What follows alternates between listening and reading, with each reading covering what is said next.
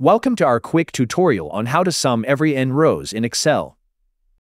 First, add a name to a range that contains values. The take function returns a specified number of contiguous rows or columns from the start or end of an array. Type take and add the first argument which is the range contains values. I need the first four rows, so type 4 as a second argument. Then summarize the range.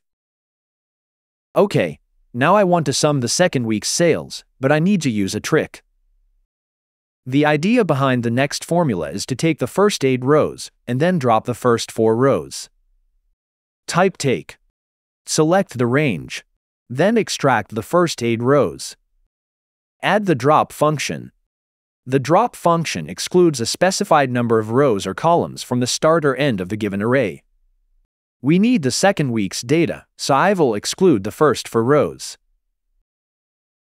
Then summarize the range. Based on this logic, here is the formula for the third week. I simply extract the first 12 rows from a range. Then drop the first 8 rows. The result looks great.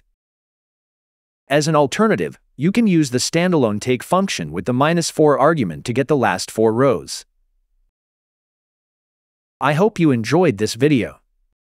For more tips, subscribe to our channel and stay tuned.